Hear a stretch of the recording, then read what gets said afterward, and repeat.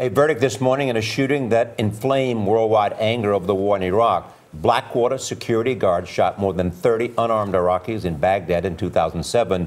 More than a dozen of them died. On Wednesday, a federal jury in Washington convicted four of those Blackwater guards. Clarissa Ward is here. She's been to Iraq more than a dozen times. Clarissa, good morning.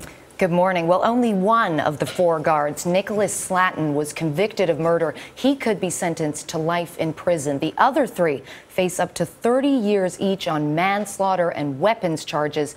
No date has yet been set for sentencing.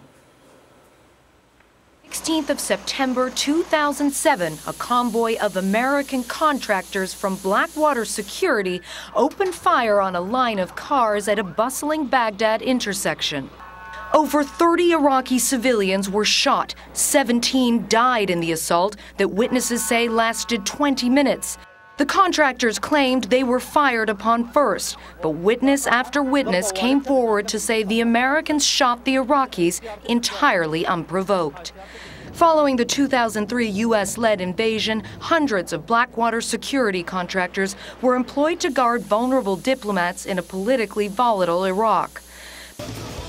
But undisciplined behavior and a string of accusations implicating them in attacks on Iraqi civilians there you go, there you go. gave Blackwater the reputation of trigger happy mercenaries who saw themselves as above the law. Nine year old Ali Mohammed was the youngest victim that day. Hassan Jaber, an Iraqi lawyer, survived the attack, but only just. One of the bullets passed right through him. The shootings were seen as a turning point in U.S. Iraqi relations and sparked a series of anti American demonstrations.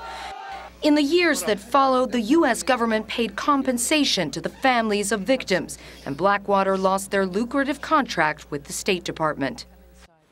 The shooting placed enormous tensions on U.S. Iraqi relations, but American officials throughout pleaded with their Iraqi counterparts to have faith in the judicial process. So these guilty verdicts will be seen as a diplomatic victory for the U.S., even though the trial took seven years. No, and, and, are the Iraqis reacting at all? Well, it's interesting. On social media, we're not seeing a lot of reaction from Iraqis. And from people there who I've spoken to, there's a sense that the security situation is now so bad. Right. They're so focused on ISIS. They're too worried about the future to be thinking about the past anymore.